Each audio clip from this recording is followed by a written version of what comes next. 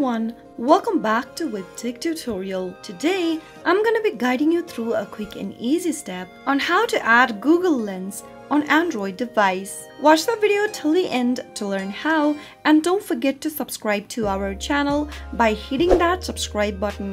Press the notification bell so that you'll never miss another upcoming upload from us. To add Google Lens on your Android device is easy. Google Lens is a software developed using machine learning technology for AI visuals. Many of the Android devices comes with this software already integrated in it. But if you want to learn how you can easily add it on your Android device, if you're not sure if it is already available to you, then here is how you can do it. First, launch open your Play Store and in the search box type in Google Lens and search. Once you find the Google Lens from Google LLC application, tap on install. Now wait for the app to be installed on your mobile device and after the installation is completed, tap on open. This will now launch open Google Lens on your Android phone. Accept to the necessary permissions. Allow access to your gallery by tapping on Allow Access at the bottom and tap on Allow to the necessary permission. Soon after you do that,